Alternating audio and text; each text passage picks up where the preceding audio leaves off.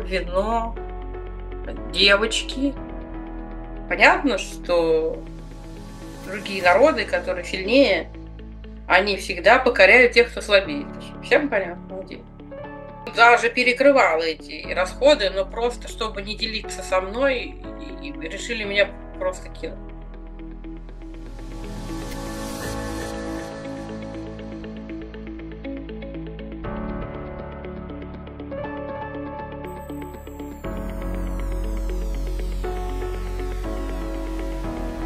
Здравствуйте, дорогие друзья! Сегодня у нас очередная встреча с нашим дорогим контактером Ириной Подзоровой и очень интересной исторической личностью, мореплавателем, первооткрывателем, космографом, который известен в нашей истории как Кристофор Колумб. Здравствуй, Ирина, и приветствую тебя, дух Кристофора Колумба. А, здравствуйте, дорогие друзья. Меня зовут Ирина Подзорова. Я являюсь контактером с внеземными цивилизациями, тонкоматериальным миром и миром невоплощенных духов. А, да, с нами сейчас присутствует дух, который был известен на Земле как личность э, Христофора Колумба. Хочу сказать сразу, что это фантом, а, потому что, да, фантом с памятью этого человека, потому что сам дух а, находится в воплощении, то есть его часть находится в воплощении сейчас на Земле, и воплощенная часть э, дала разрешение на беседу с, со своим воплощением, так сказать.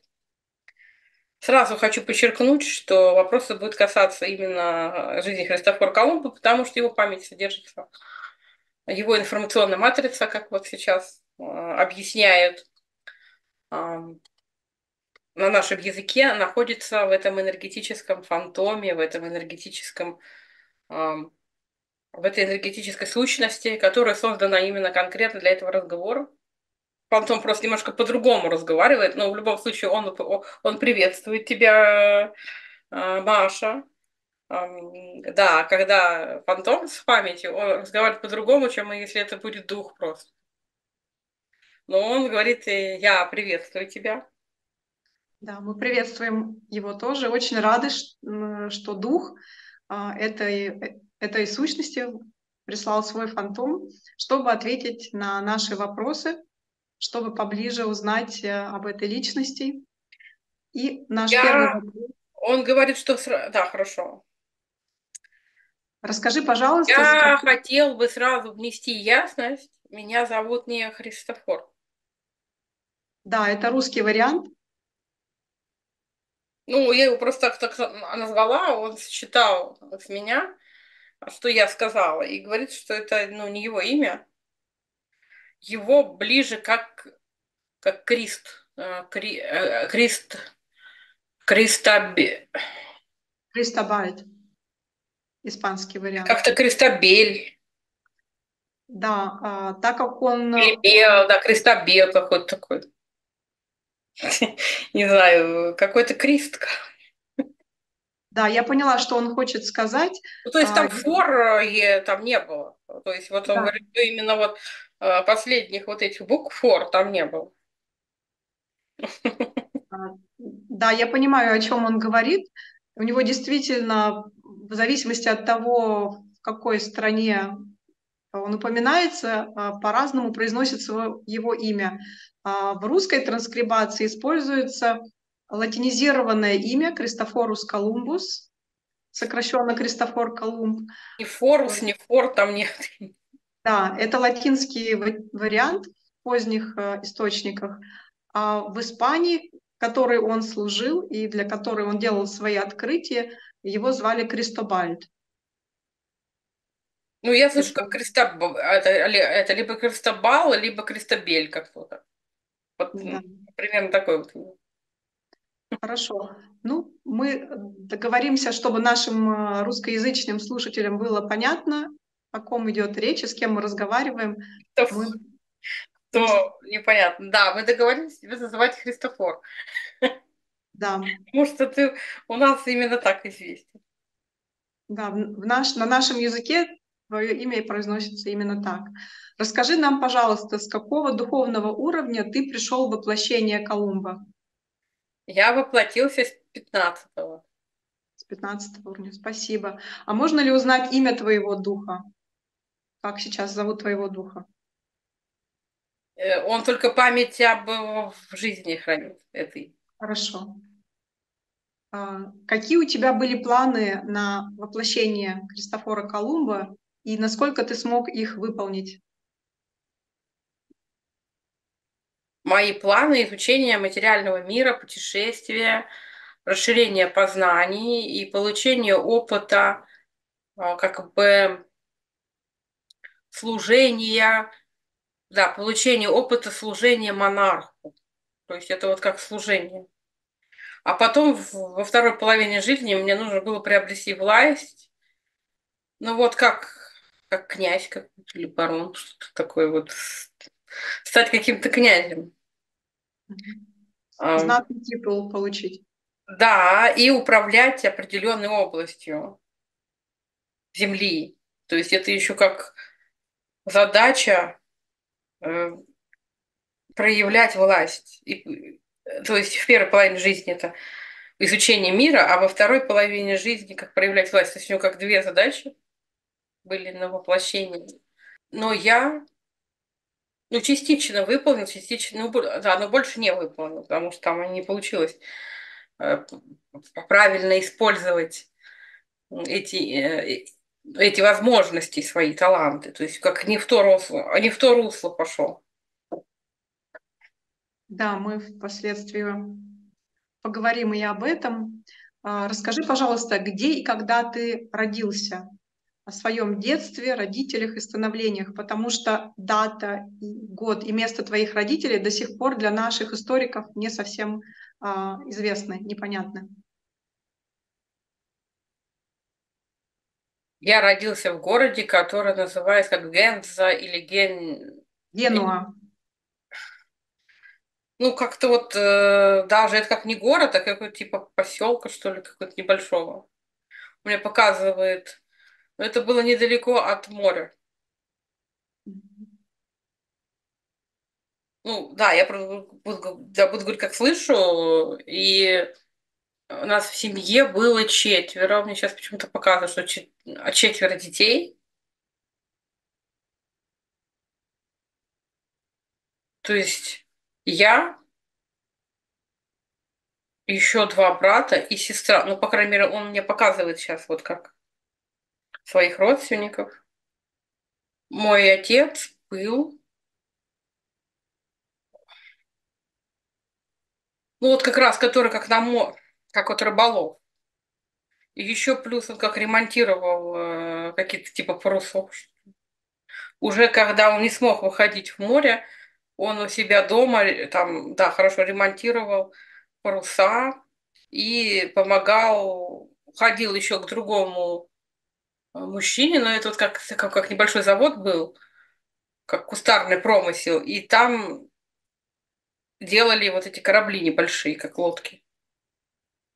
Он мне сейчас показывает, как лодочник какой-то. А мама, она была с детьми, но еще, когда они выросли, она ходила, э, ну вот как стирать кому-то одежду.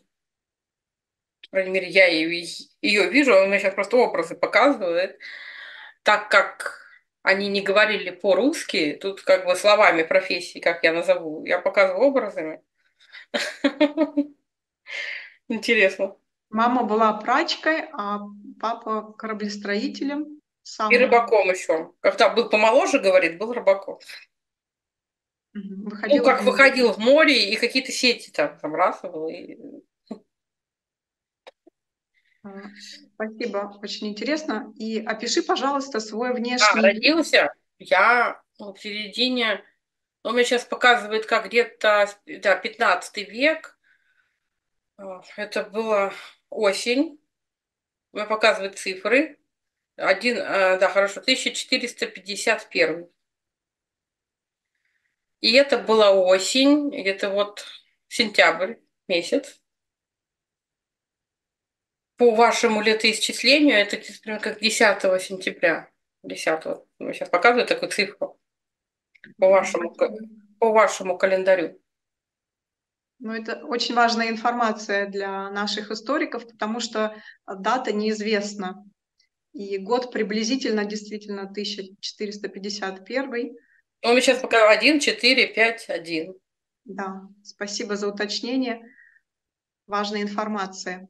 А, также не было прижизненных портретов твоих, и рисовали уже просто по описанию. Может быть, ты сможешь Ирине показать, как ты выглядел в зрелом возрасте? Он мне показывает мужчину с бородой ростом где-то около метра восьмидесяти. Такой шляпе. Почему-то э, такое лицо достаточно светлое, а борода что такая широкая. А, и волосы такие длинные и немножко вьющиеся. И они такого какого-то рыжеватого цвета. То есть вот как рыжие, особенно волосы. Борода-то потемней. И глаза у него свет, светлые, то есть вот мне сейчас показывают, как светло-серые такие. Нос такой длинный, прямой, вот так вот идет. И лицо такое немножко вытянутое. Очень поразительный взгляд и тонкие такие губы. Хорошо. А, Я... а сам э, такой плотный, ну не то что полный, но у него такое крепкое сложение. Он такой высокий а, и широкий в плечах. Ну, он мне сейчас показывает, как видел свое отражение. Хорошо, спасибо. А, я пришлю Ирине несколько портретов э, твоих посмертных. Может быть, сейчас? Она... Нет, не сейчас, впоследствии. Может быть, ты выберешь э, подходящий портрет для нашей заставки. А что бы ты мог рассказать о себе как о личности, о твоем характере и убеждениях? Я был верующим человеком, верил пап, в римского папу, но вот как католик.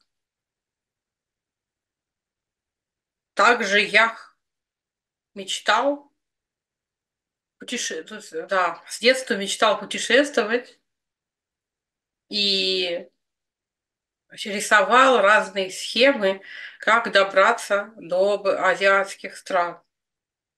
Более короткие, ну вот как показывает, что был какой-то как длинный путь, а я хотел как коротким путем добраться до Японии, Китая, Индии. И я хотел, чтобы, ну вот как наладить там, как, как торговлю. И чтобы за это открытие и за то, что я буду перевозить товары, а, ну вот как меня наградили титулом, показывает, что мечтал об этом и. Это занимало большую часть моей жизни, когда я вырос. Я со своими друзьями стал их уговаривать, чтобы мы, ну как, а, плыли на открытие, на это, вот как через тот путь, да, который я решил. А я решил, потому что я познакомился с одним монахом, который мне показал карту и на которой было нарисовано, что есть короткий путь через океан. Вот как на запад от э, Испании. Плыть на запад от Испании вот по Атлантическому океану. И там есть короткий путь к, Ази, к, Азии, да, к, Ази, к азиатским землям, и я хотел быть не только первым а, откры... ну как бы, да, первым открывателем этого пути, но я хотел, чтобы там открылись, э, ну вот как, города. Города моей страны, где правил бы какой-то как князь. Но это был не король, это как не Италия была со времен, а что-то типа какого-то княжества небольшое. Это мне показывает, как э, Опять же, да, княжество русское слово, ну такое, как государство очень маленькое. Да, ну, можно сказать, что отчасти ты исполнил свои мечты Но я титул. мечтала об этом, я мечтала путешествовать, мечтала открыть э, новые земли даже, которые еще были не открыты, и путь в те, которые уже были известны, ну, как другой, более короткий, тоже. Но я не мог устроить это путешествие. Мне показывают, как ходит э, на приемы каким-то богатым людям и просит э, как обеспечить эту экспеди... ну, эти экспедиции. Да. Но они отказывали, и у меня были обиды на них, разочарования, особенно в молодости. А, потом я нашел одного из как баронов каких-то, который был очень близко к кардиналу и профинансировал в то время, когда я жил, в то время церковь была очень богатым, очень богатой э, институтом как власти или при власти. И там было очень много денег. И поэтому кардиналы некоторые жили как э, князья. Вот такие, как в богатстве. И Нам он эти факты. финансировал, да. А, скажи, пожалуйста, немного о своем характере. То есть ты был очень целеустремленным, настойчивым человеком. То есть ты мог а, свои интересы отстаивать именно как личность, твои а, характеристики как личности. Я считал себя уверенным в себе, я ничего не боялся. Я был достаточно жестким. Ну, то есть таким, как, э, как вот лидерские качества были. Очень интересно, потому что для нас важно понимать, за счет каких качеств ты достиг того, что ты достиг, поставленных тобой целей, твоих целей на воплощение и твоих земных целей, материальных. Вот. И для этого действительно нужны, наверное, очень сильные э, качества лидерские, наверное, жесткость в чем-то и умение перешагнуть через свои страхи. Я также был жестоким с людьми, которые мне не подчинялись. Жестокость в тебе тоже присутствовала.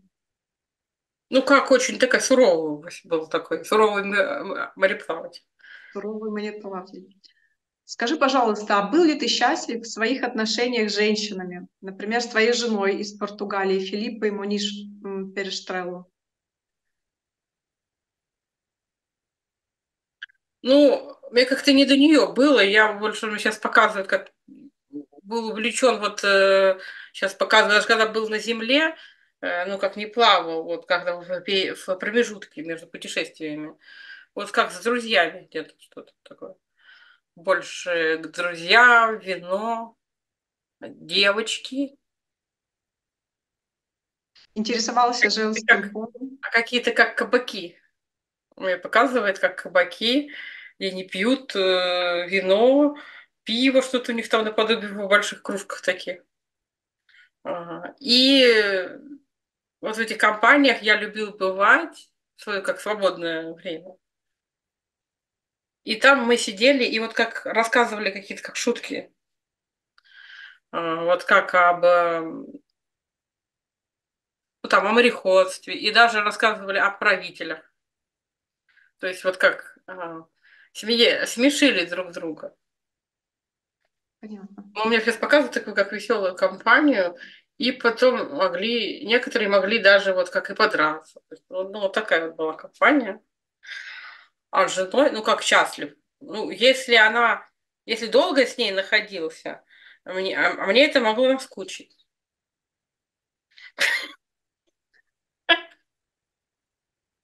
Смешно, да.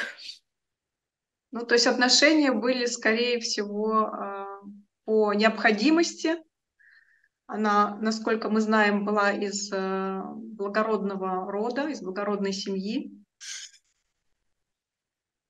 Ну и что я был, хотя из, из бедной семьи, которую я говорил, но так как я пользовался почетом и уважением со стороны э, достаточно знаменитых людей элиты нашего времени, я ей ни в чем не уступал, на самом деле. То есть э, твой брак и отношения были, скорее всего, по расчету, чем по любви. Ну, просто ну как вы, вы понравились, мы реально понравились друг другу. Ну, ты же прекрасно знаешь, что ну и когда одна женщина хорошо, а потом проходит время, и когда тебя окружают э, другие, э, это тоже тебя соблазняет. Очевидно, какое-то из моих воплощений это знает. Аж прям смешно. Но он мне показывает, как... эм, Да, хорошо.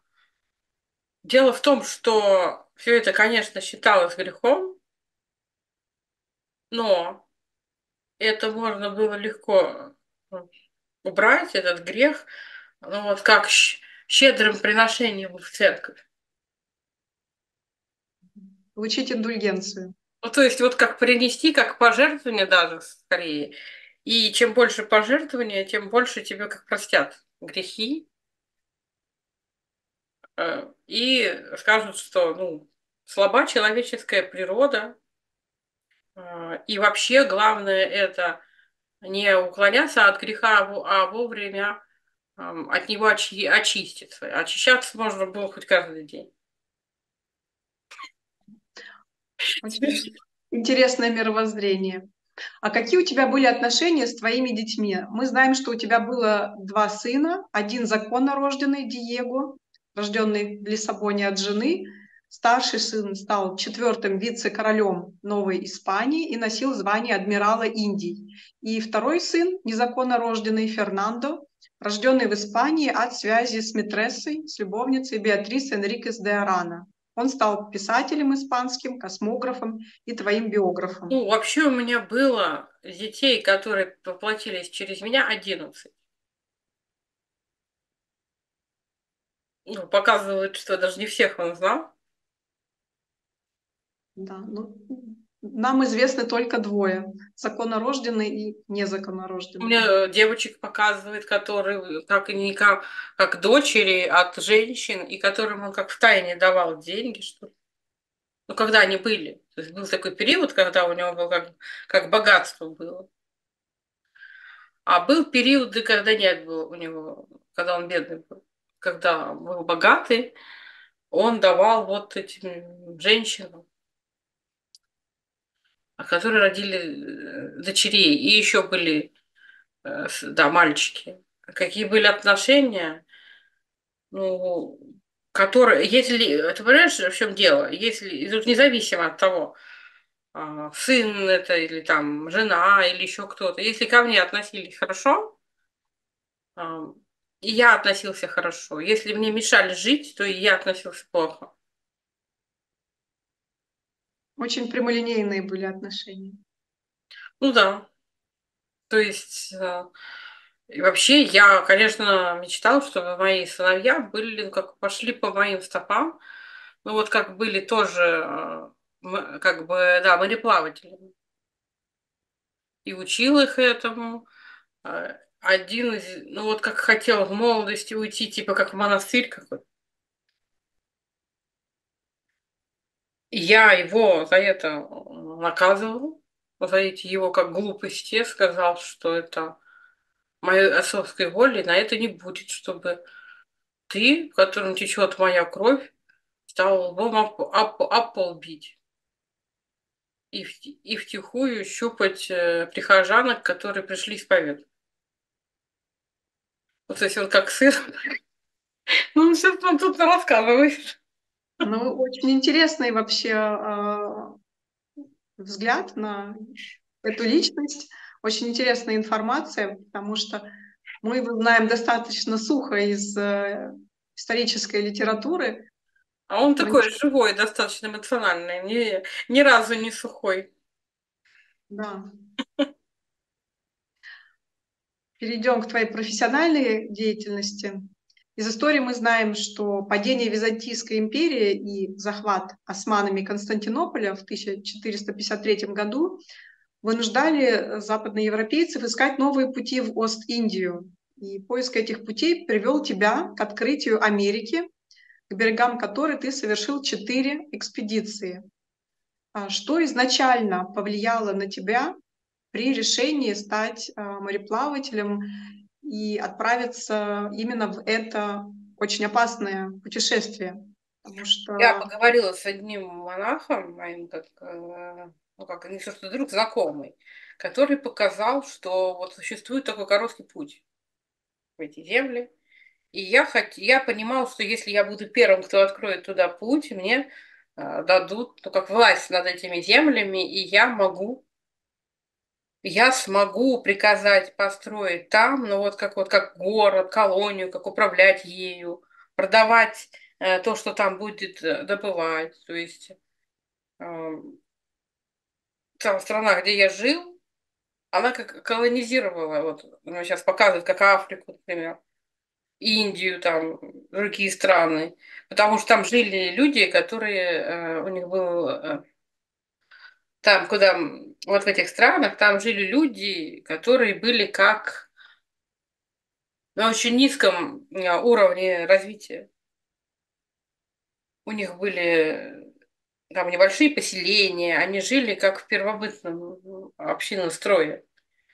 А, не было больших городов, не было. А, вот он мне сейчас показывает как-то вот такое, как оружие который как стреляет, вот как он сейчас нап- что-то наподобие ружья нашего показывает, но какое-то более примитивное такое вот, какое-то все неровно сделано. Да, а у них было, ну, просто какие-то топоры, там, луки, стрелы, копья. И можно было легко их взять в рабы. Понятно, что другие народы, которые сильнее, они всегда покоряют тех, кто слабее. Это же всем понятно, где. Да, в твои времена это было обычным э, ходом мышления. Является, а ваши разве иначе? В наше время мы уже не держим рабов в общепринятом смысле этого слова. Хотя в скрытой форме такое еще есть, но это уже не а, одобряется и не разрешается обществом.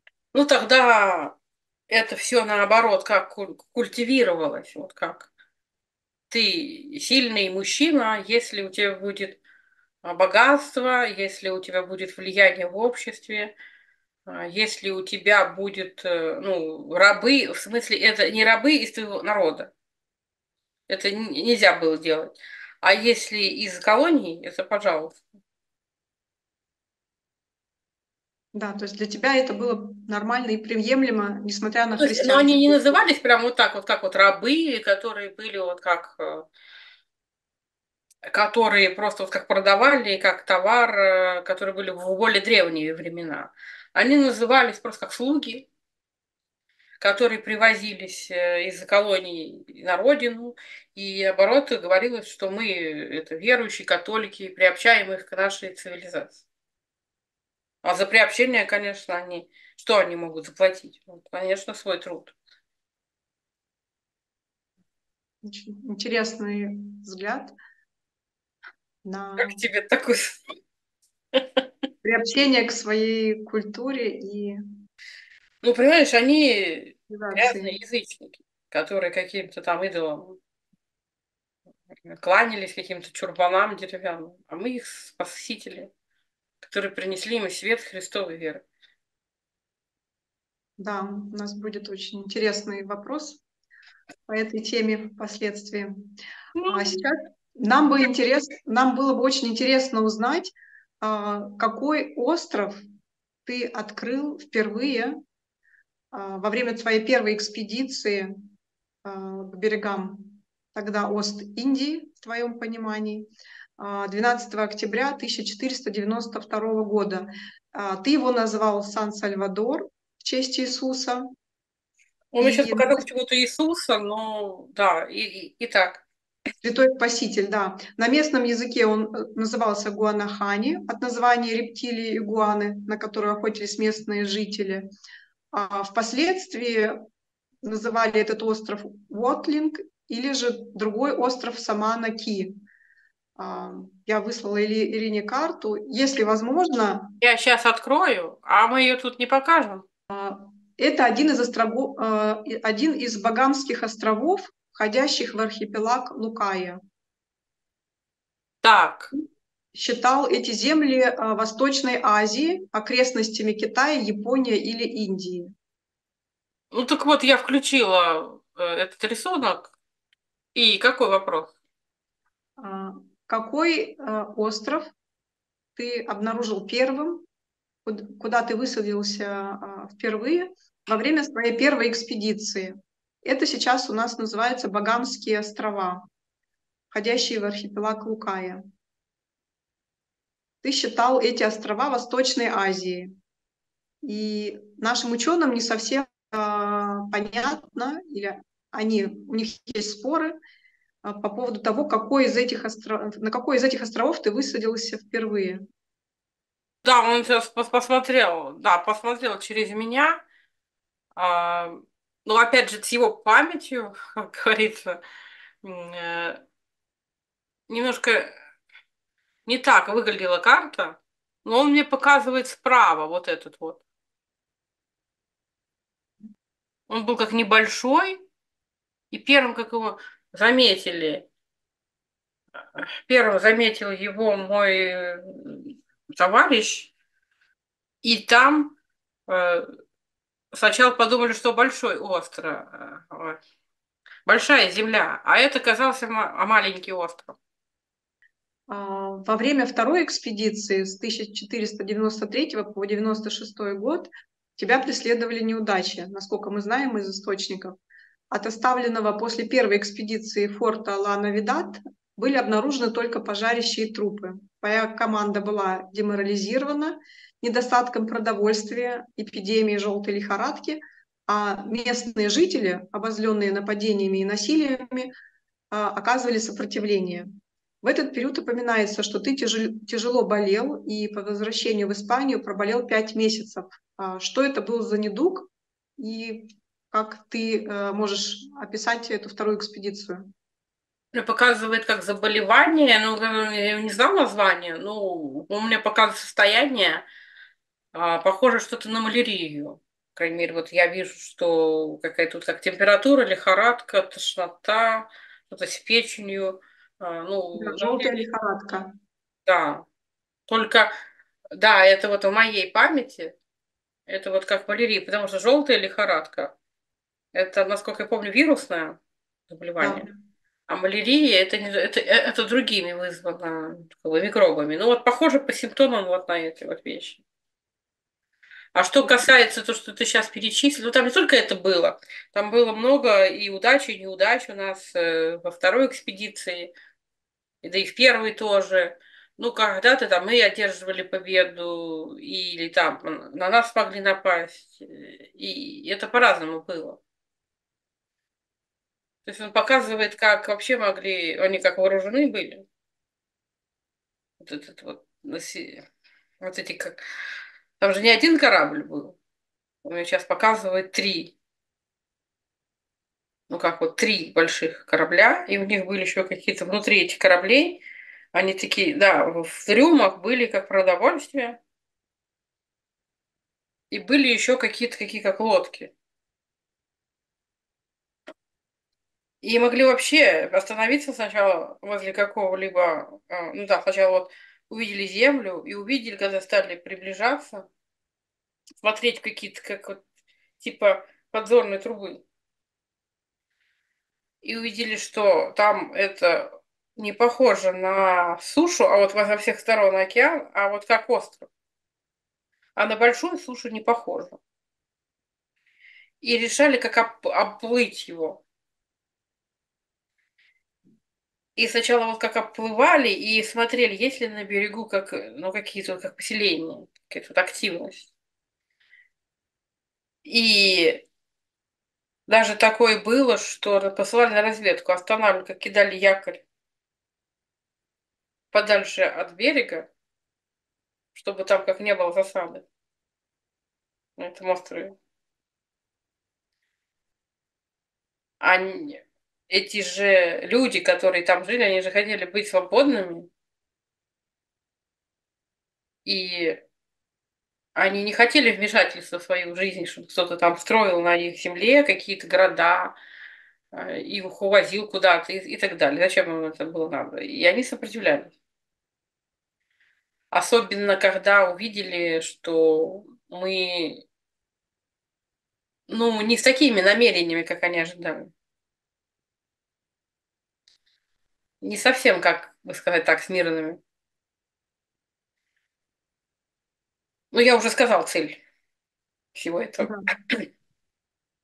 А, под конец не второго... вот когда вот этот вот корабль останавливался возле какого-то как острова, как небольшого, вот на этой лодке пять или шесть э, человек отправлялись, ну, как на разведку. Вот когда уже вечерело, были сумерки, он мне показывает, как они отправляются вот э, со стороны берега, где вот, ну, как он был пустынный. И они выходили на этот берег, а, а там вот такая вот песчаная полоса, и сразу росли как джунгли. Вот такой очень густой лес он мне показывает. И прятали эту, эту лодку под какими-то как листьями и обследовали остров.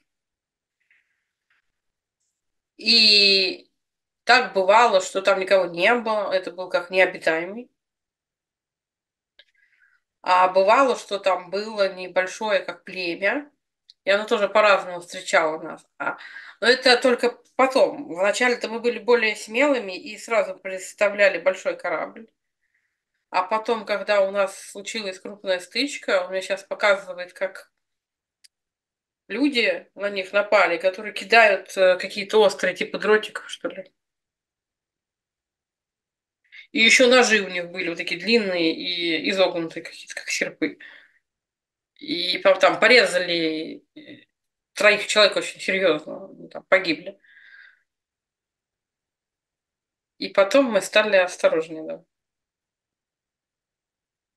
да. Очень опасное было путешествие. Очень многие в нем погибли. В конец второй экспедиции испанское правительство разорвало с тобой отношения, так как с острова Испаньола, на котором вы обосновались, не приходило достаточно дохода, и они разрешили всем кастильским подданным переселяться на новые земли, рассчитываясь с казной золотом. Показывает, Таким... что это неправда, и что ну, вот, как бы он не согласен с информацией, что него было дохода, что это было просто как мошенничество. Что они говорили, что не было дохода, а на самом деле он был. Ну, очевидно, недостаточно высокий, как, э, который не покрывал расходы, или он покрывал расходы экспедиции? Он даже перекрывал эти расходы, но просто, чтобы не делиться со мной, и решили меня просто кинуть. Понимаю. А, тут а, у нас есть информация о том, что появился Америго Веспуччи, твой итальянский соотечественник из Флоренции, который получил право снабжать индийские экспедиции. А, он в том числе снарядил и твою третью экспедицию на, деньги флорентийского торгового дома Медичи. А, его также привлекали новые возможности и перспективы после открытия новых земель тобой. Он оставляет торговое дело и отправляется штурманом в третью экспедицию, чтобы познакомиться с новооткрытой частью света. А, какие отношения у тебя были с этой личностью и воспринимал ли ты его как конкурента? Ведь именно его именем с подачи немецкого картографа и книготорговца Мартина Вальдземюллера был назван новый континент, который ты открыл, Америка, уже после твоей смерти – так как э, Веспуччи оставил очень много информации об этом континенте. Нормально у нас были отношения, никакой конкуренции не было, и называли его, понятно, что так как, так как назвали, потому что он доказал и открыл, что это не, не то, что я думал. Понятно, что как его еще могли назвать. А, ну, соответственно, когда мы с ним были знакомы, нормально у нас были вполне отношения. А, ну, Я бы сказал, что у меня была такая, ну, можно так сказать, небольшая, как зависть. Э, он как был богаче, и ему давали вот как больше денег. Ну, он просто был более таким хитрым а, и более таким, ну, не таким, как прямолинейным, как я, потому что я мог... Да, я поняла, показывает образ. Это смешно. Вот какой-то, как, я не знаю, кто такая, Из, Изабелла, это кто? Изабелла – это была католическая королева Испании, которая финансировала твои экспедиции. Я мог к Изабелле войти прям с моря, и помывшись.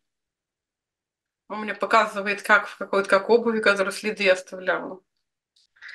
А, и от меня вот как морем и потом пахло. А она так, это такая утонченная женщина, мне сейчас показывает, как отворачивала нос и э, каким-то как платком вот так вот закрывала. А я вот э, мог к ней приблизиться, но вот она сейчас показывает, чуть ли там не, там не объятие там ее а, заключать. А Америка Веспуччи, он был очень такой, следил за собой. То есть она сейчас показывает, как такой франк. И ну, поэтому был, к нему э, было больше... У меня, к нему было больше как расположение, у меня была зависть. Но он и со мной себя вел очень подчеркнуто вежливо и не выказывал как свое превосходство. Был настоящим дипломатом, вот.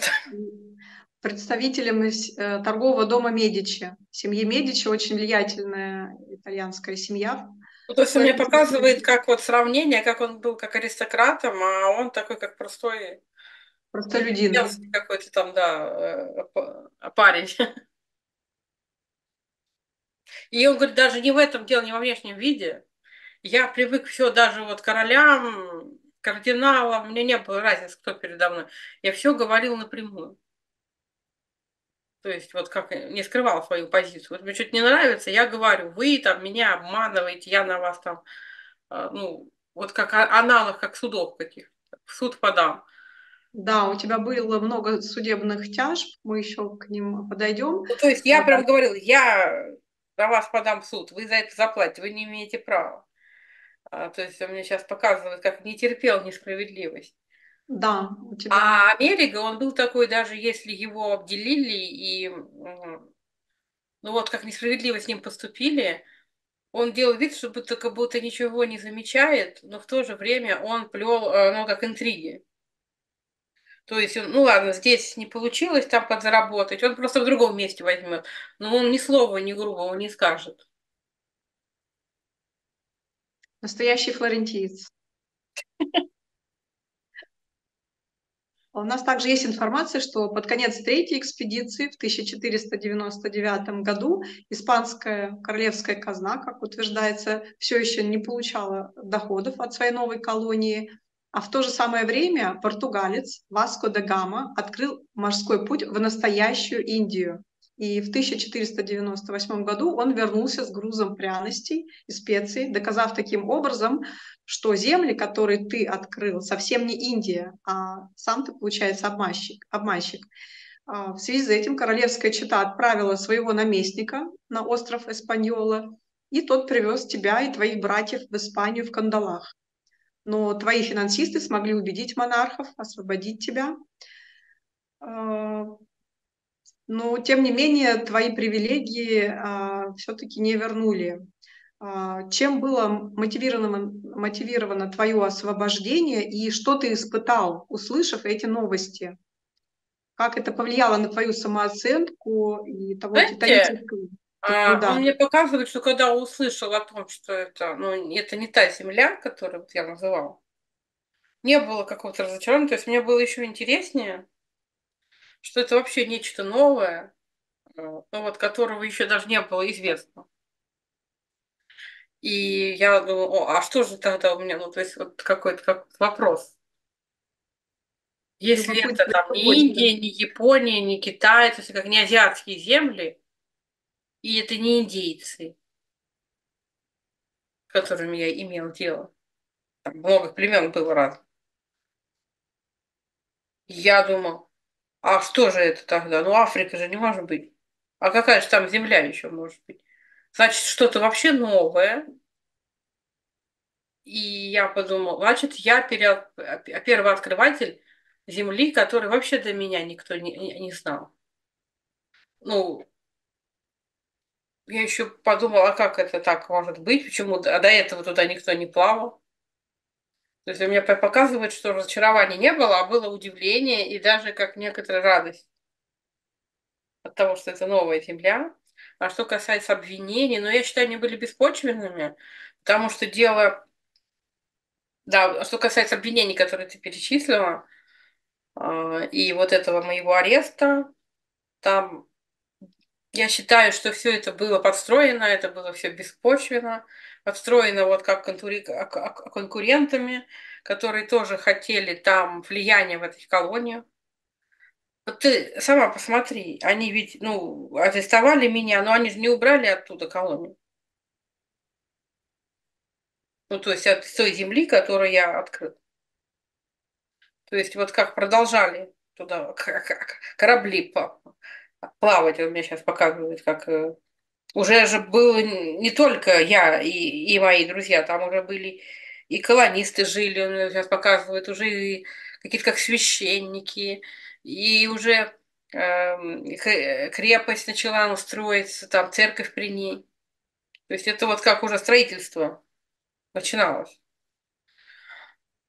И они сказали, что типа вот ты там не то открыл, поэтому ты обманщик-мошенник. Ну, они а... же не переставали этим пользоваться. И я считаю, что было подстроено несправедливо, потому что э, мне какая разница, как она называется? Если она приносит доход, а там было и золото, драгоценные камни, вот эти слуги, мы, мы их называли, Работа. они тоже, мы их отвозили в свои страны, они там работали. А, ну и было много тоже золота. И показывает, что даже какие-то как предметы золотые обменивали. На стеклянные бусины. А если они не хотели обменивать, то, ну, как и начинался конфликт, который мог закончиться захватом этой племени. Ну и вообще было много земли, которые могли жить люди. Вот у меня сейчас показывают, как на постоянное место переехать из Европы. И я считаю, нет разницы, как она называлась. Раз я ее открыл, я никакой не мошенник. Это же действительно она была реально. А назвать ее можно было хоть а, Азия, хоть Индия 2. Там, хоть Япония, хоть Мапония, хоть как ее можно было назвать. Дело да, не в названии. Дело в том, что твои недоброжелатели э, предъявляли претензии именно в том, что ты э, недостаточно хорошо и добросовестно управлял этими колониями, и поэтому королевская чета отозвала это э, монопольное право. Ну, это было, да. У меня было, конечно, много там чего. Ну вот конкретно насчет мошенничества я не согласен. Ну, это был один из аргументов, почему насчет стоит да, монополию. Конечно, насчет управления и собственным командой, кораблями вот этими, и собственной командой, и колониями. Да, у меня действительно было много я проявлял много силы, которая воспринималась как жестокость. Я наказывал, я делал свои как законы и наказывал за непослушание, например, за убийство или ранение одного из своих. Я, привя... я приказал привязывать к столбам, например, пять человек, и а, он мне сейчас показывает, как привязали к столбам, руки вот так вверх, прикрутили какой-то как бечевкой, сложили солому и подожгли живьем. Это было местное население или кто-то из другой команды? Местное население. Местное население.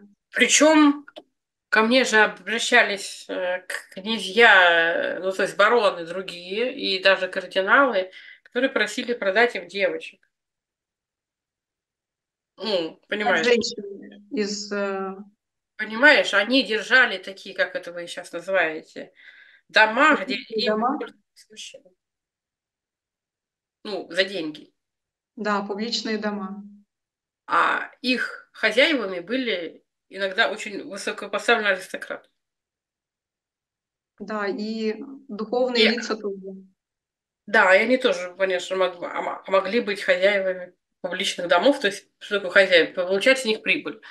А девочек-то надо было где-то брать, и, соответственно, эм, ну, чтобы цену на нее, чтобы цену за нее нормальную назначить, она должна быть, была быть привлекательной. А те, да, девушки, которые были вот в этих племенах, они были нечто как новое.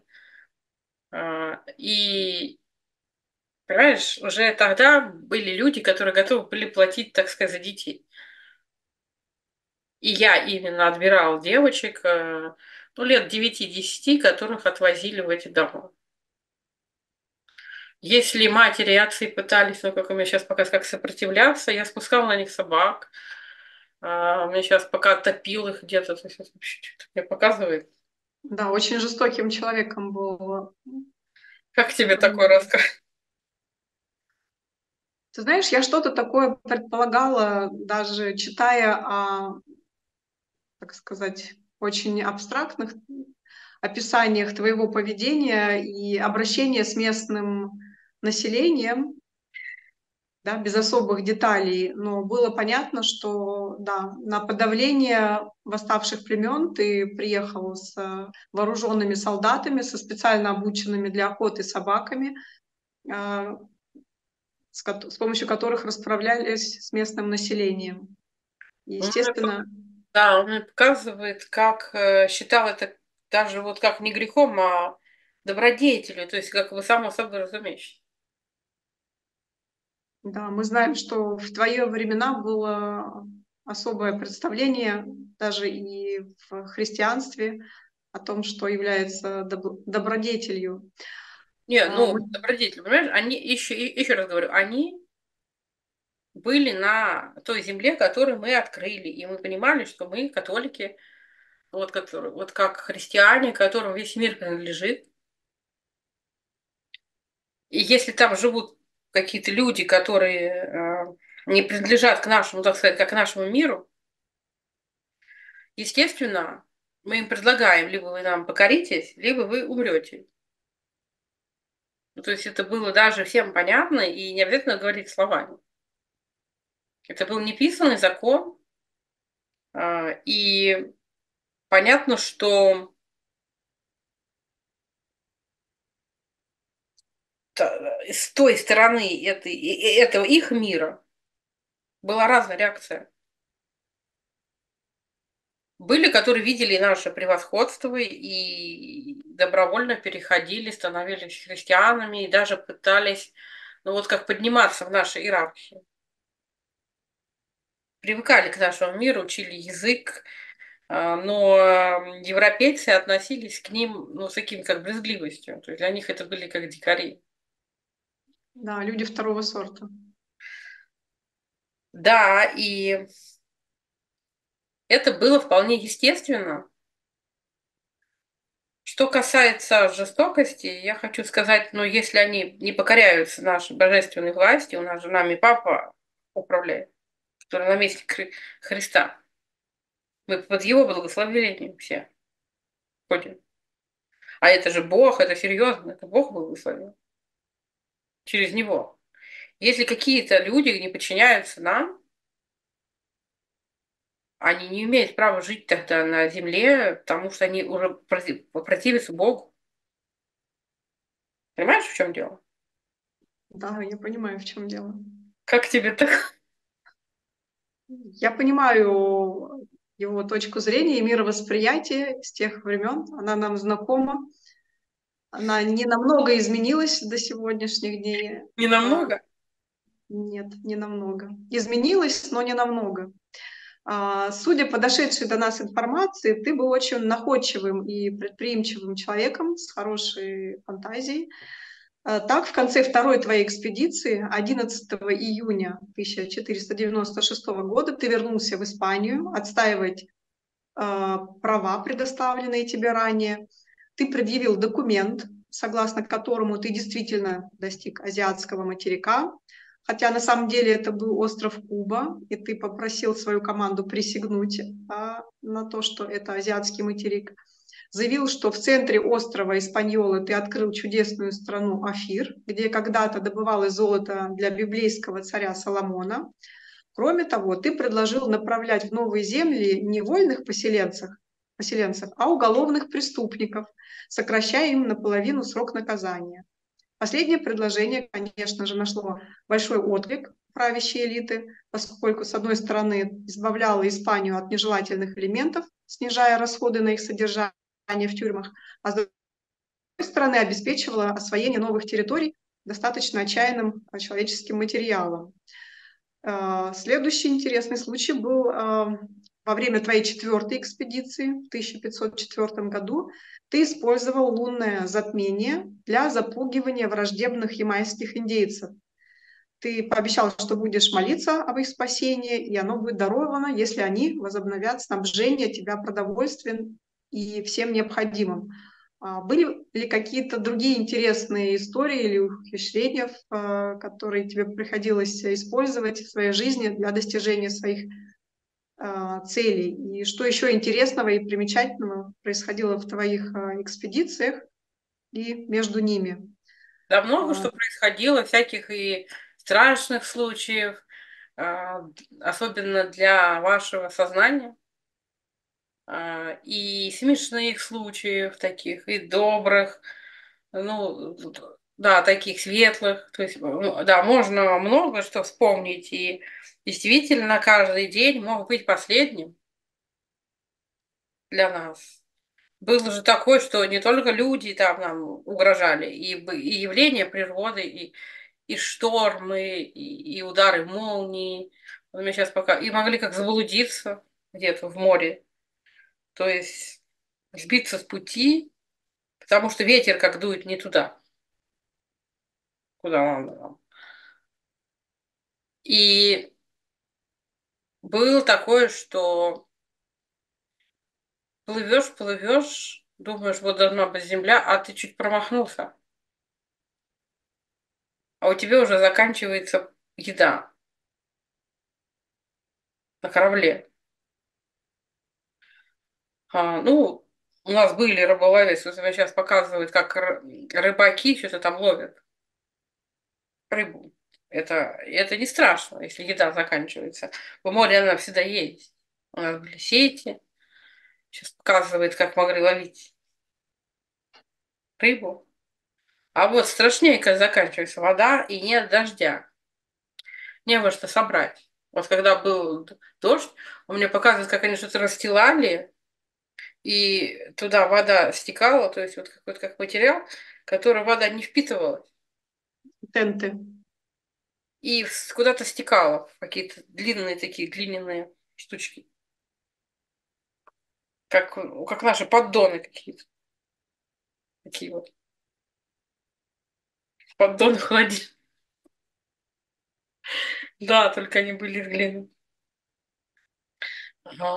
Если не было дождя и не было воды, вода кончалась, это было страшно.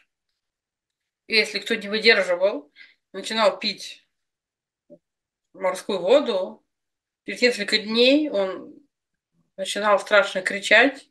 Мне сейчас показывает, как начинались какие-то как боли у него в теле, и у него была остановка сердца.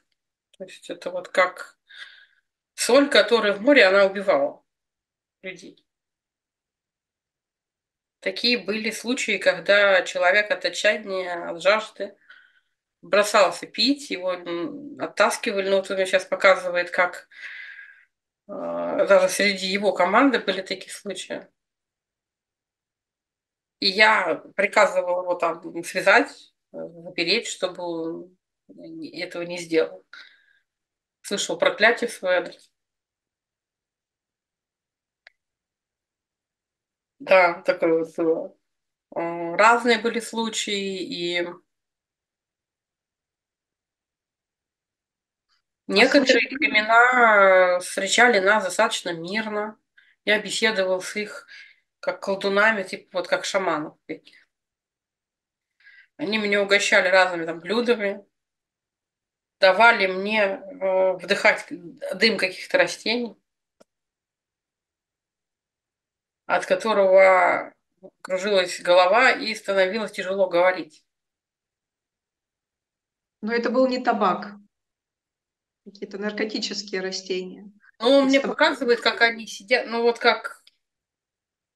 Ну, почему? Вот для человека, который не привык, вот, да, хорошо, я поняла. А, Он мне показывает растение, ну, оно, не знаю, на табак похоже. То есть, по крайней мере, я вижу, вот как оно такое высокое. Э,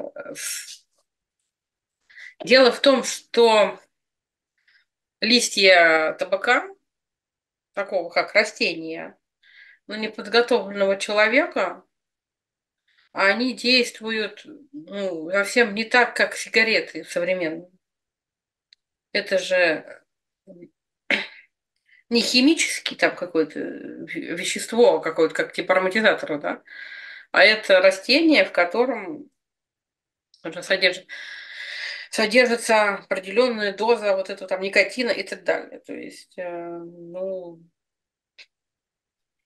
он мне показывал, как они, да,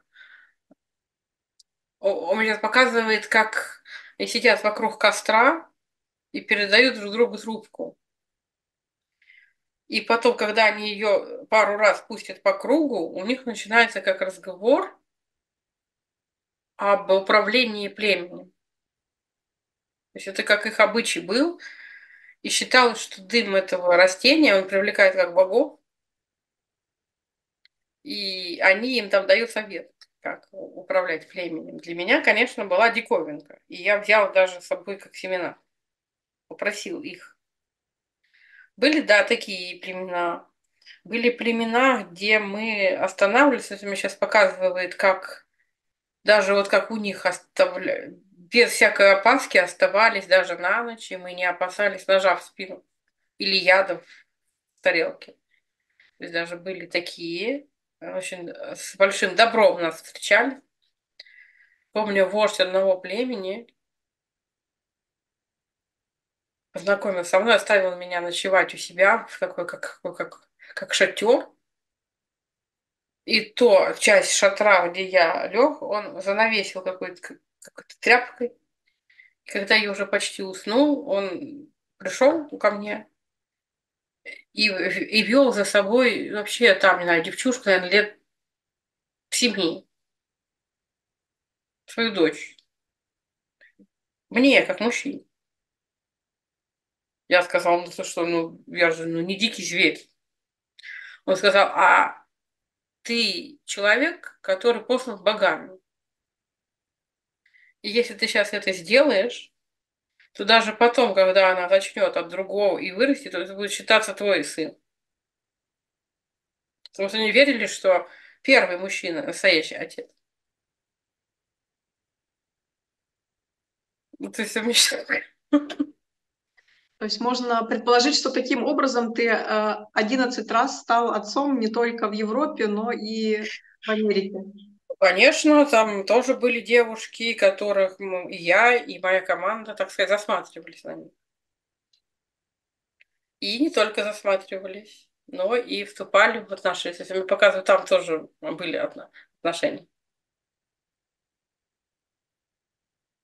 Да, понимаю. Очень сложно для мужчины, который долго был в плавании, без женского внимания. Тем более вот я выхожу и вижу, на песке лежат женщины, представляете, вообще без ничего.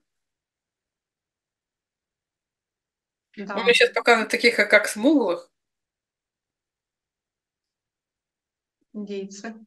Да, и мужчины, и женщины, и дети, то есть они друг перед другом как разделись, и вот как лежат, как загорают. Одна вообще лежит, вот он мне сейчас показывает, как у нее сразу, как у мужчины, взгляд сосредоточился на грудях. Ну, это прям смешно уже. И Ну, для них это необычно было.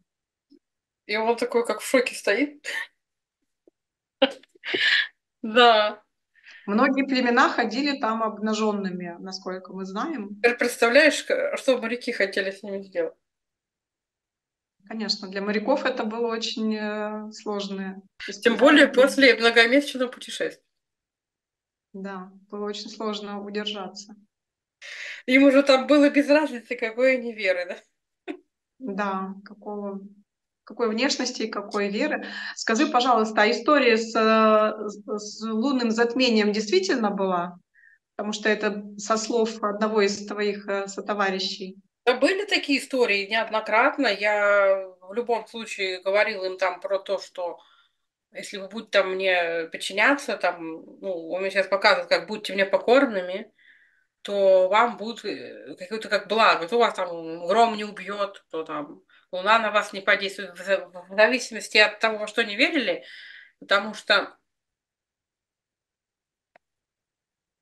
мне показывает вот как даже вот как вот язык не понимали друг друга, а вот находили вот какие-то вот как вот знаками. И постепенно начинали узнавать э, их язык. Ну, то есть вот как вот слова, и вот, говорю, я, я- вот там показывали предметы, спрашиваю, как там у вас называют, то есть какой-то такой, как обмен. Но это я повторяю в теме, кто не сопротивлялся. Когда там сопротивлялись, были какие-то столкновения, нападения, конечно, тут уже не до разговоров было. Да, понимаю. А, Ты также являешься автором двух интересных книг. Книга привилегий и книга пророчеств. А, В книге привилегий, которая была написана в 1502 году в Севилье, незадолго до твоего четвертого и последнего плавания в Америку, ты написал с целью, как нам известно, а, с помощью судей и нотариусов закрепить а, на бумаге в подробностях те прояв- проявле- проявления благосклонности со стороны испанской короны, а, которые, по твоему мнению, тебе причитаются в качестве вознаграждения за открытие так называемого пути в Ост-Индию, а также завоевание и христианизацию новых земель во славу Испании. За публикацией этой книги последовал продолжительный судебный процесс между твоей семьей и испанской короной, известный под названием «Тяжбы Колумба».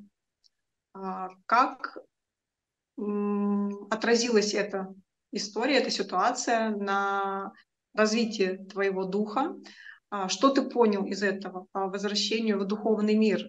А, Насколько я понимаю, в тебе была глубокая обида и разочарование Я понял, да, у меня была обида, разочарование в, ну вот как в, в этих людях, которые были, да, при, при власти, а, в их честности, потому что они говорят одно, а делают другое.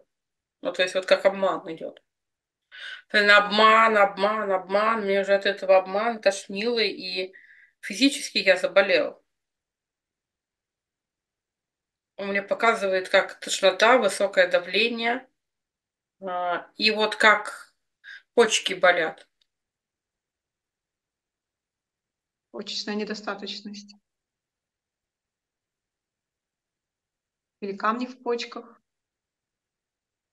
Ну да, там вот как шлаки уже у него в крови. То есть он мне сейчас показывает, как вот эта зло, злоба, даже не то, что зло, подавленная ярость э, на вот это все. То есть он не мог, я не мог ее выплеснуть. Это же не индейцы уже. Я только мог срываться на ком-то. Например, у меня была собака, и он мне сейчас показывает, как... Да, была собака, у меня еще была лошадь, ну, дома. То есть он мне сейчас показывает. И когда я приш... приходила с очередного вот этого как разбирательства или как допроса,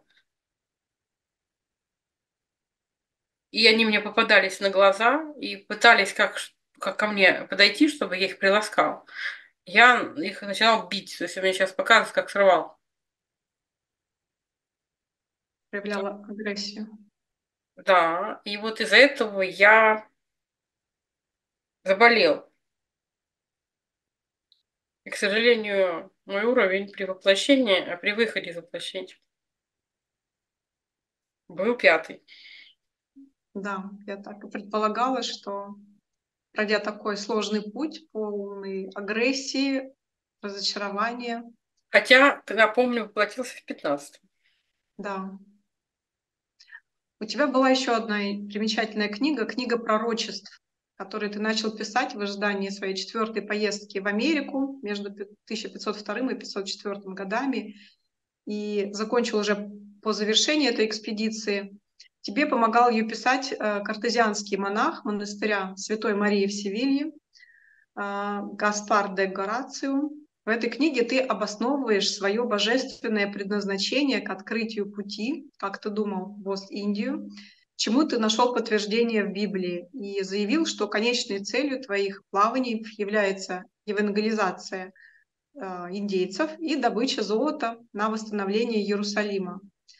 Ты писал в этой книге, что к концу света и второму пришествию Иисуса Христа необходимо выполнить четыре условия. Это распространить христианство по всему свету, отыскать Эдем, который по представлению твоих современников должен был находиться где-то на вершине горы, чтобы его не затронули воды потопа. А, должен быть совершен последний крестовый, крестовый поход, который приведет к отвоеванию святой земли у мусульман, после чего Христос должен прийти в место, где он проповедовал, а, был распят и воскрес в Иерусалим. И четвертое условие, должен быть избран последний мировой правитель, по моему мнению, которыми были католические короли а, Фердинанд и Изабелла. А что тебя привело к написанию этой книги на самом деле? Было ли это действительно желание твоего духа, какая-то контактерская работа, и кто тебе помогал при этом на тонком плане, или это был просто эм, такой эм, шаг дипломатический, чтобы убедить монархов и дальше финансировать твои экспедиции и признать твои привилегии. И насколько ты преуспел? Я бы сказал так, это были мои размышления. Ну, вот об этом всем, что там есть. Это были мои размышления, вполне искренние.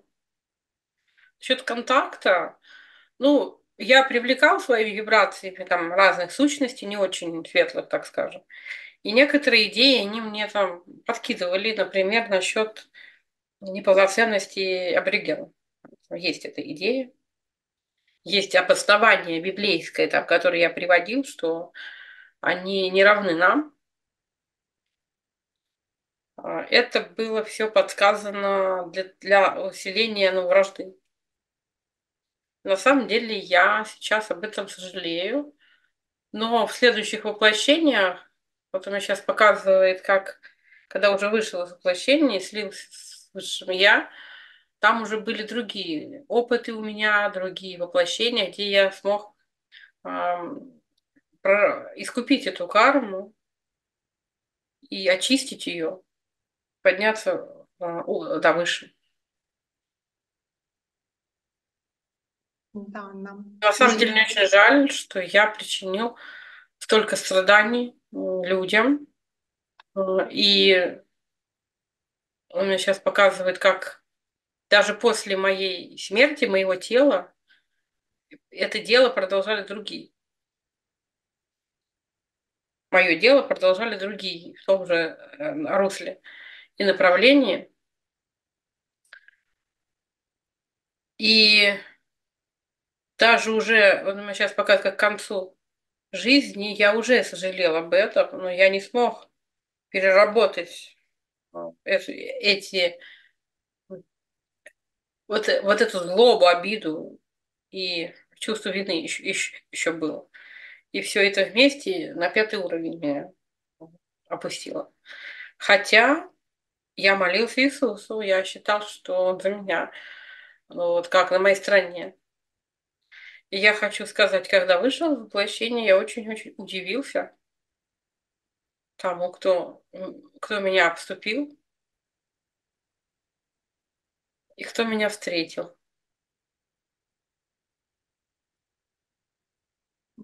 Я обязательно тебя спрошу об этом. Мне интересно узнать э, о твоем таком убеждении, которым мы, мы читаем о том, что ты считал, что судьба человечества предопределена, да, об этом стоит в священном писании, и о том, что ты был э, ну, э, убежден, что твоя судьба предопределена Богом еще до твоего рождения. Вот, может быть, ты был в каком-то роде фаталистом. Вот. И, конечно, мы знаем, что ты очень сильное влияние оказал на судьбу нашей цивилизации, на открытие нового континента и того, что там происходило, как ты правильно сказал, а, твои потомки и последующие поколения продолжали там действительно ужасные а, действия колонизации. Что повлияло на твое убеждение в том, что вся история человечества каким-то образом предсказана в Священном Писании или предопределена Богом? Это тоже были размышления, потому что я понимал, что Бог, э, Он все знает, Он всеведущий. А если Он знает будущее, для меня это было как сам предопределил, потому что если знал, но не помешал, значит предопределил. Так было в моем понимании. То есть э, вся та жестокость, которая проявлялась в обществе и в том числе на новых землях, ты считал, что это тоже с одобрения э, высших сил и Бога? Ну, конечно, и без воли Бога волосы с головы не упадет, в том числе и этих людей. Раз он упал, значит, так велел Бог. Мы рука Бога. Он нами наказывает их за их э, развратную языческую жизнь. Да, я... мы знаем, что, в принципе, это и была идеология крестовых походов, против э, мусульман и других. Э, ну, короче, я поняла, кто победитель, тот и святой, да. То есть это было его убеждение в своей жизни. А в последние годы есть, жизни... Вот э, там, не знаю, воюют какие-то там племена или государства. Кому Бог дал победу, и уж Бог дает. Всегда, кстати. В любом же народе есть какой-то день победы над какими-то э, врагами. Так вот, когда этот день победы э, вспоминают и отмечают в любом народе, наверное, вспоминают Бога. И говорят, ты нам дал победу. Ведь так?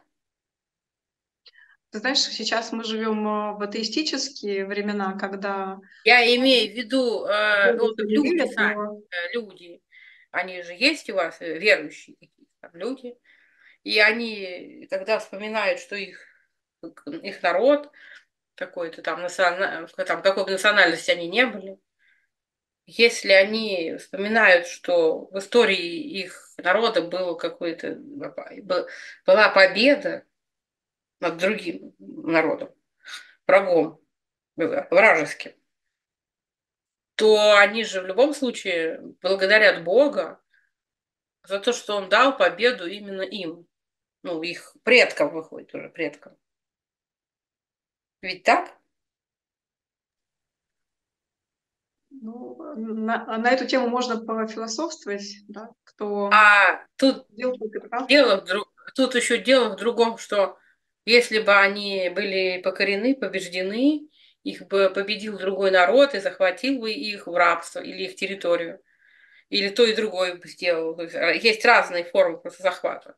Есть захват территории, присоединение ее к своей и объявление, что так и должно быть. Это правильно. А есть просто территорию захватывают, но захватывают и людей тоже. Рабство так, как бы отвозят в другое место, ну, рабство, оно просто может быть открытым, а может быть скрытой форме, там бывает разные формы. А, ну, в любом случае, если бы эти, которые сейчас празднуют победу, эти люди, этот народ, если бы он проиграл в этой войне, в любой войне, он бы уже праздновал бы, народ, э, праздновал бы победу его враг, одним.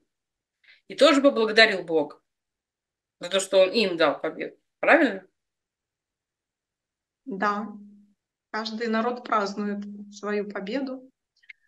Ну вот, а по поражению в войне никто не празднует, так ведь? Да, это так.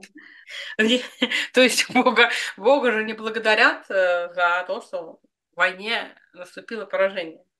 И ты знаешь, наверное, о древних народах, где были вообще боги войны,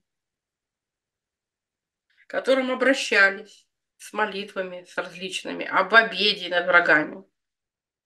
И все равно побеждал кто-то один. Ну, самый сильный. Как ты думаешь? Ты же понимаешь, а кто может победить в войне? А теперь вопрос.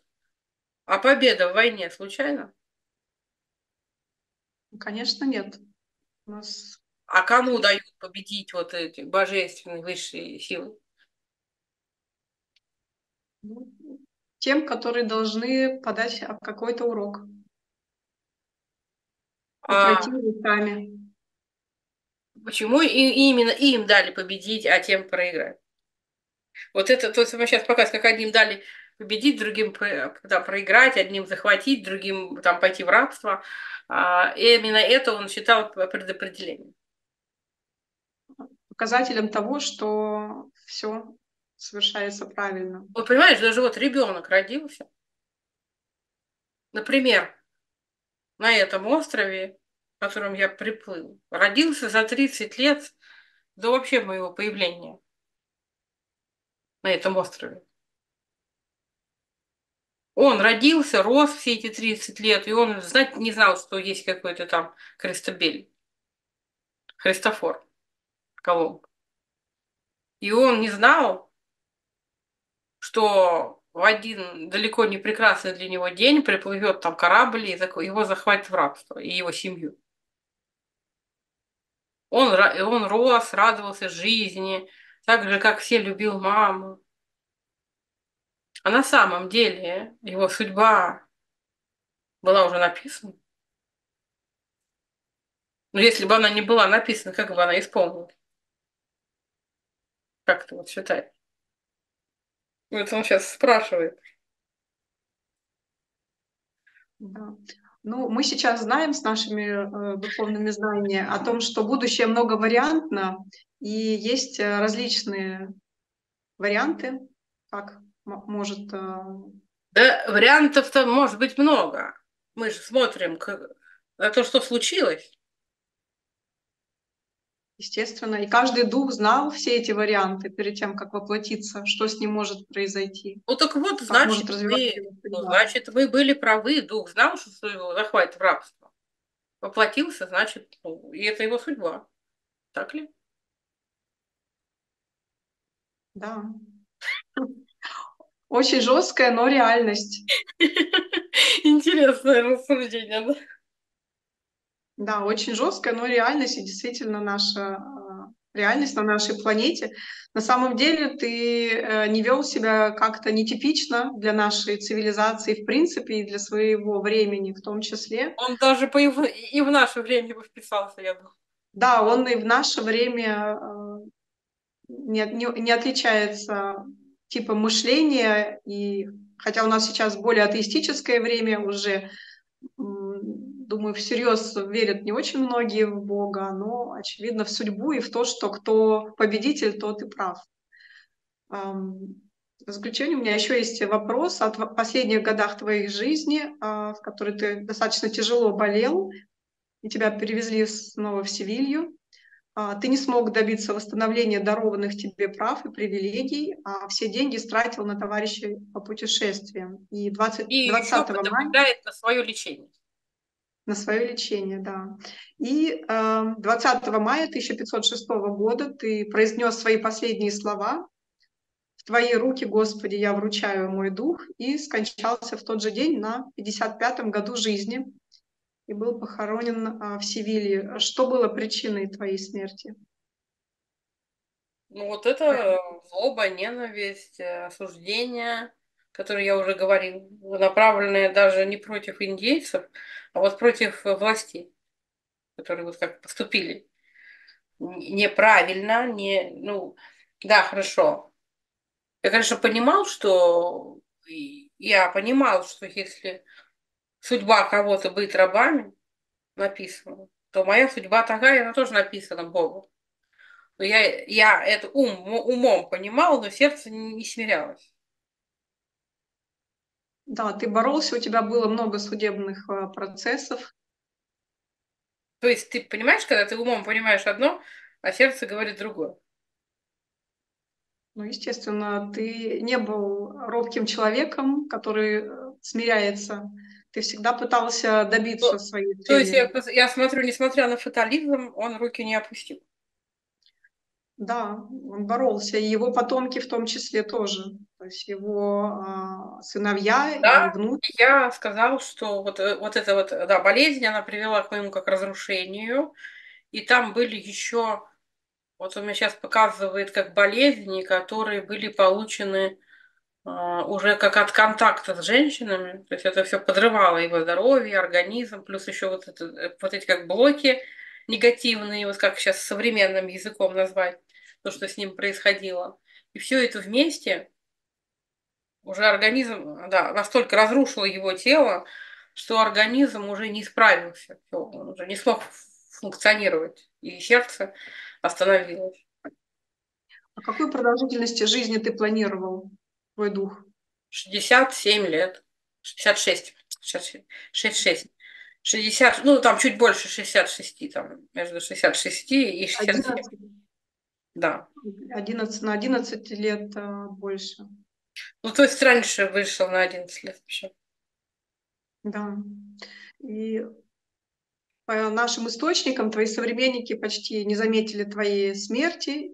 А, признание пришло лишь позже, в середине XVI века, после завоевания Мексики, Перу и государств на севере Анд, когда в Европу пошли действительно а, огромные запасы золота, серебра, а, жемчуга, драгоценных камней и, конечно, последующая трагическая судьба а народа. я в трюме своего корабля перевез молодых мужчин а, этому королю на его рудники, чтобы он оружие делал? Он забыл? А, а, а по нашим источникам 200, но, очевидно, намного больше. Больше, конечно. Это же было, он мне сейчас показывает цифру.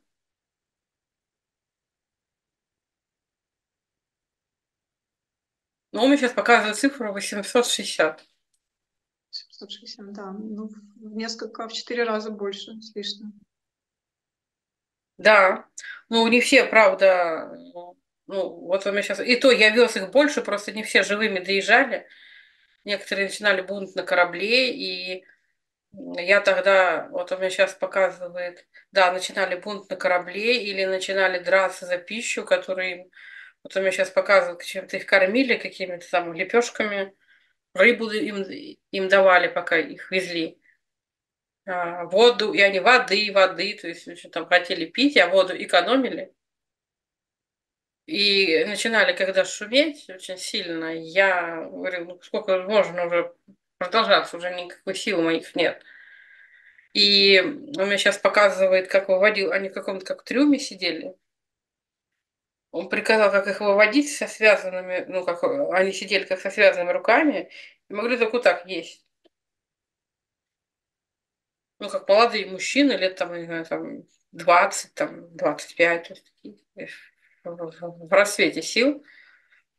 И такой, сколько можно кричать, выведите их. И их как выводили, и брали вот из них прям вот любых 10 человек. А, я подходил к ним. Их поворачивали спиной, я разрывал рубаху на них. Вот, вот как один брал вот такой нож и ножом на спине делал такие насечки. Когда потекла кровь, я приказал бросить их в океан, и подплывали акулы на кровь. И при всех расправлялись с ними. Потом крики прекращались на какой-то... То есть, выходите так же. Никто не хотел. Как тебе такой рассказ? Да, очень жестокие времена, жестокое обращение. И потом эти акулы, мне сейчас показывают, как долго плыли за кораблем. Ну, естественно. Ждали дальнейшей кормежки. То есть вы вывозили э, людей, драгоценные металлы, другие э, какие-то как камни, камни драгоценные, да. А завозили травы, он мне показывает какие-то как травы, семена, еще какие-то книги, то есть вот что-то они там писали на каких-то типа а, папируса, что ли, вот они какие-то как вот цветки. То есть, ну там какие-то, он мне пока какие-то непонятные, вот такие, как, ну, как руны. Ну, то есть не как буквы в этом, а вот какие-то как значки. Твоя письменность. Вот такие вот значки какие-то круглые, потом а, похожие на, наверное, нет, это не египетские. Я даже не знаю, на что это похоже, но он мне сейчас показывает. То есть вы вывозили э, предметы культуры и артефакты, очевидно. Каких-то, да, каких-то статуэтки там, что-то такое. А ты сталкивался э, с артефактами, которые показывали, например, пришельцев с других планет, с других цивилизаций? Вам рассказывали о, о контактах? Ну, я слышал, показывали мне некоторые жрецы, что там я сейчас показываю на острове, вот там, вот в этом большом острове, были такие как пещеры. И, ну, вот такие вот, как гористая такая местность. И там были пещеры, и в этих пещерах а, хранились, ну, вот такие вот, как предметы, полученные от богов. Как они нам говорили. А, но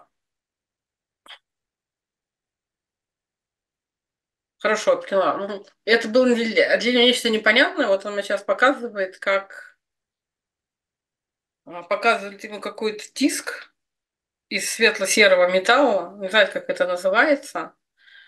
И стоило его бросить в воду, ну вот как, да, хорошо, бросить в воду.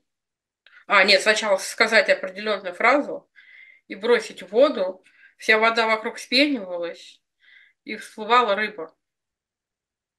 То есть был ядовитый. Ну, это такое, как излучение какое-то, типа электричество, что-то типа того. То есть как для ловли рыбы. Понятно.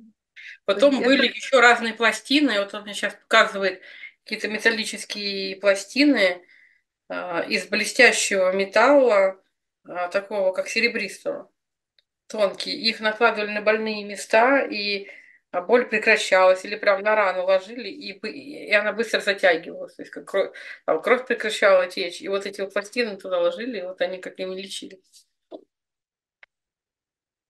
А эти артефакты были вывезены в Европу?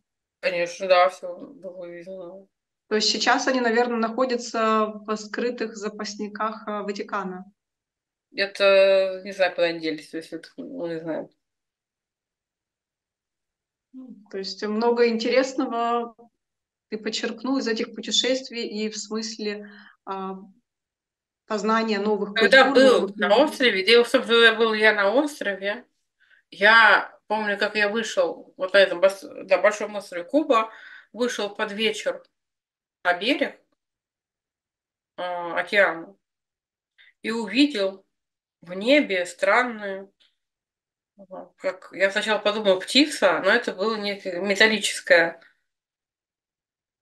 а, вещь, металлический предмет вытянутой формы, как, как сигара такая.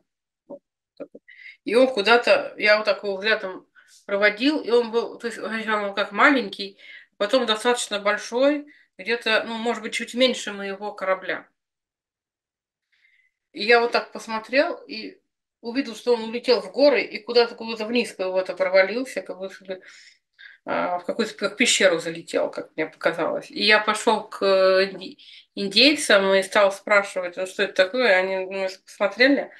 Ну, это просто боги, они тут живут, они тут взлетают давно. А индейцы рассказывали о контактах а, с богами? Да, много рассказывали. Этого, этого было полно. Ну, правда, там не всем верили, то есть я показывала, как сняли. Ну, о контактах рассказывали, что боги к ним приходили, в их там племя, посещали, лечили их болезни, даже брали их женщин к себе, э, чтобы якобы от них детей рожать. Ну, короче, много всяких небылиц. То есть в твою картину мира э, эти э, рассказы не вписывались? Нет. Да, очень интересные. У тебя была и насыщенная жизнь. А, я думаю, что ты один из э, немногих жителей на нашей планете, которому удостоилась такая судьба и такая возможность быть первооткрывателем новых э, континентов, новых земель, э, новых народов. Ты привез в Европу очень много новых растений, которыми до сих пор Ну, пользуются. мне показывают какие-то как семена в мешочках там. Да. Как тебе картофель понравился и помидоры? Ну, это необычно было. Ну, я ему сейчас показала образ просто. Да, тут. Он говорит, что это было необычно. А, и я хотела, да, чтобы другие попробовали. Ну, сейчас э, вся планета пытается этим, этим продуктом. На самом деле это такой важный достаточный продукт для выживания многих народов. Они, кстати, говорили, что я еще спрашивала, что-то у нас такого нет. Ну, они тоже, кстати, расспрашивали уже, когда мы язык друг друга немножко изучили, то есть они там мои слова знали, я там их. И они меня спрашивали, а ты там откуда там, ну как где живешь? Они там тоже расспрашивали, откуда и как, ну, а мы приплыли. Но я им рассказывала, что вот есть там страны с более такими там большими городами, то есть все хотел в таком а, положительном свете им показать, откуда я приплыл. И когда вот эти растения мне показывали и давали вот, да, их кушать, я вот удивлялся. А они спрашивают, а что у вас, -то? ну, я говорю, а, а, а, я говорю, у вас такого нет? И они такие, ну, нет и нет. А я говорю, интересно, почему нет?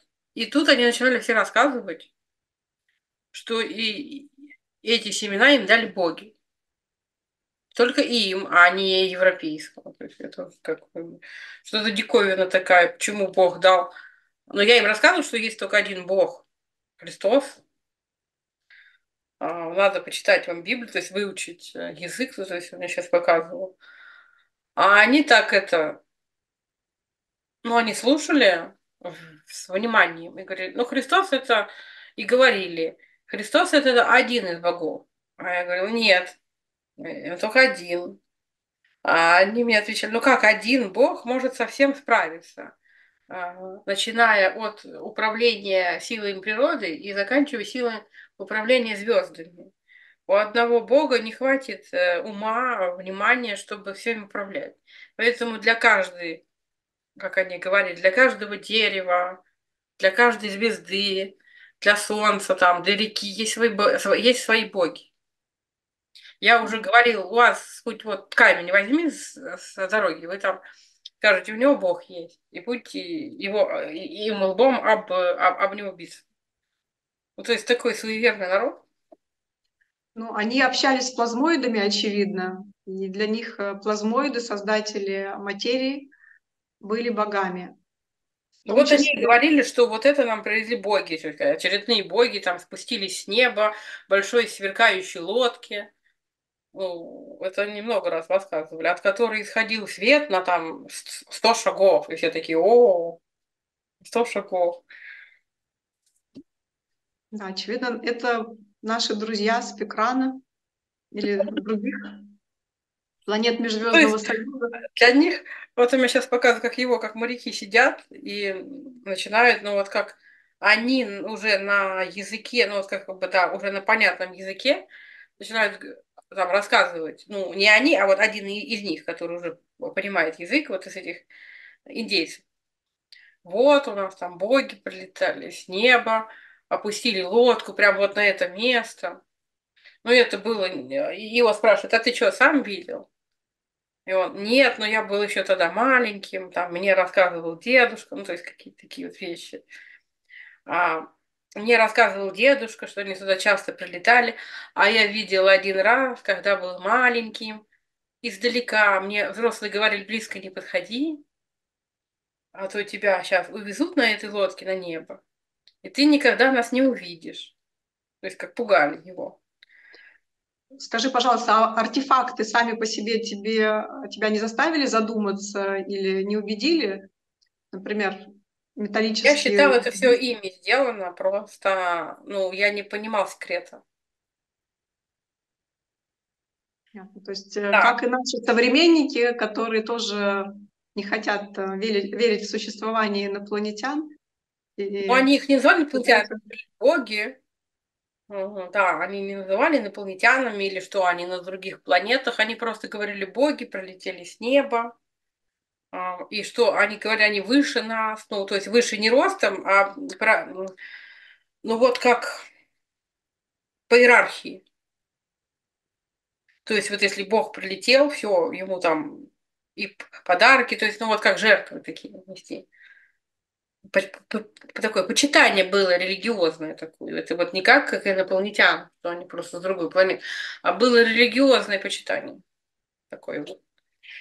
И вот, я видел, там, выглядывал из-за дерева, вот на этой полянке стояла там сияющая лодка, она была белого цвета, ну, лодка, потому что такой формы, вот как, да, продолговатый.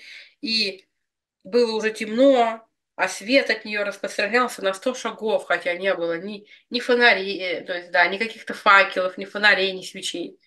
То есть это вот просто сам распространялся по воздуху. И когда и э, да, выходили боги, похожие на нас, но только ну, более такие, как светлые и высокие. И мы понимали, что они просто вид такой приняли. Это просто как бы бесплотные создания, но просто они вид, понятно, для нас приняли. То есть вот такое у них было представление.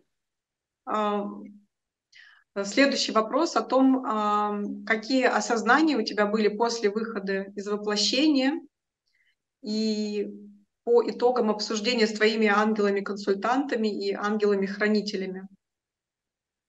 Что ты осознал? Такие были, что я накопила много жестокости и бессердечия, безразличия, эгоизма, то есть вот этих негативных качеств.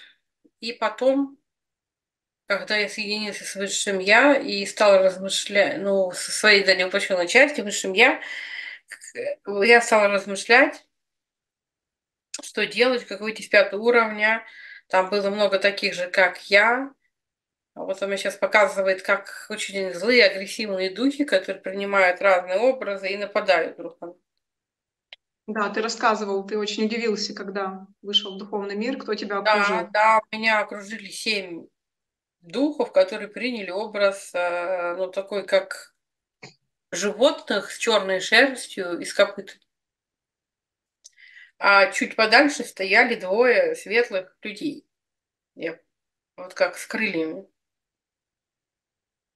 И когда я вышел, они, вот эти двое э, ангелов с крыльями, они подошли ко мне, протянули руки, а те стали прыгать вокруг и говорить, э, ну, скоро ты к нам придешь.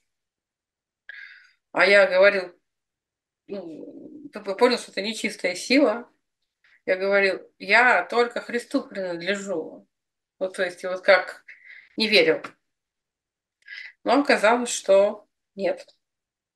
А, и в заключение нашей встречи мы хотим тебя поблагодарить за всю информацию, за твою открытость, за твою прямолинейность и спросить, что бы ты хотел нам пожелать и твоей воплощенной части в текущем воплощении.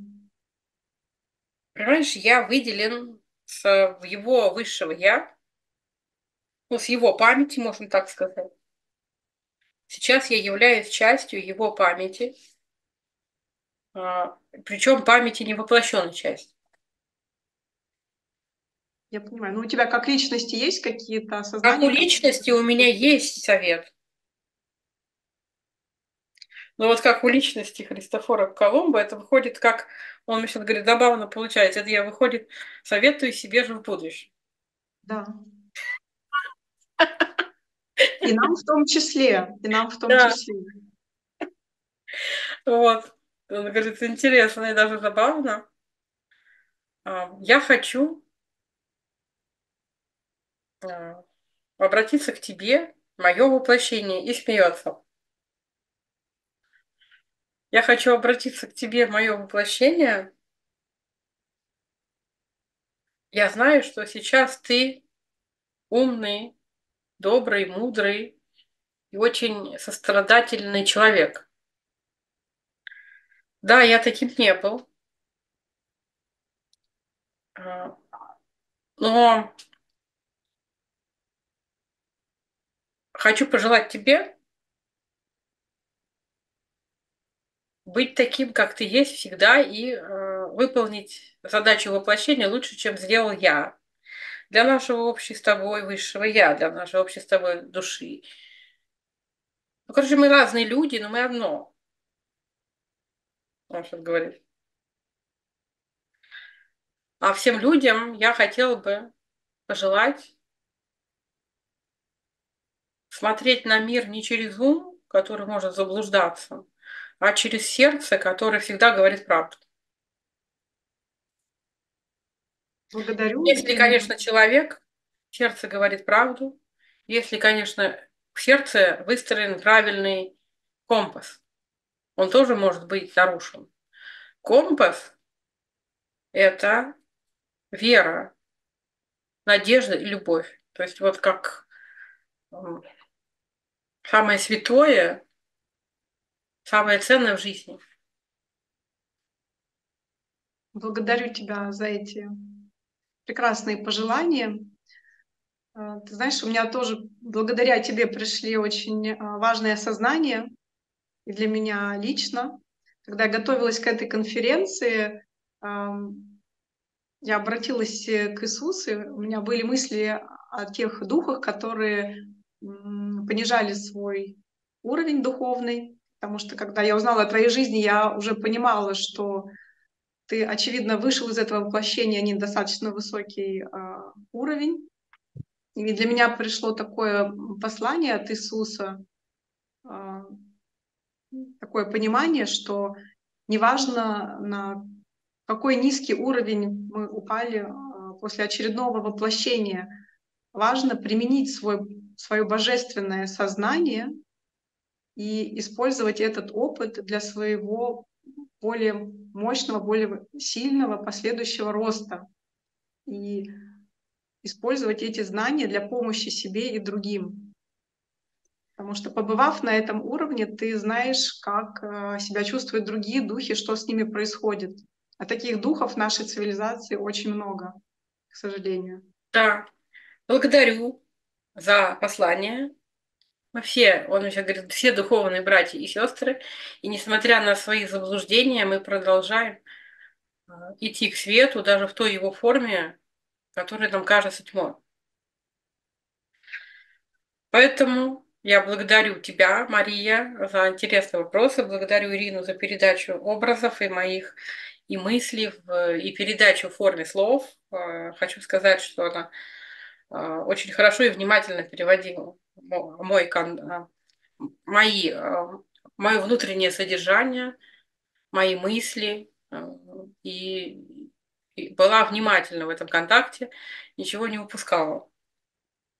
Да, благодарю. Я тоже благодарю, я, я сейчас тоже говорю, благодарю Христофора, благодарю Марию, посылаю вам свет своей любви. А, Христофору желаю и его высшему я, и его воплощенной части выполнить задачу воплощения, а, повысить свой уровень. И благодарю за а, существование воплощения такой мудрой души. Также и Марию благодарю за интересные вопросы. И вас, дорогие телезрители, за то, что вы досмотрели это, это видео до конца. Надеюсь, вам было интересно. Его ответы. Они, надеюсь, вас научили ценить жизнь и то время, в котором мы живем. Сейчас живем несколько другое время. Да, жизнь человека ценится намного больше сейчас. Да, итак, дорогие друзья, до новых встреч. Благодарим, до новых встреч.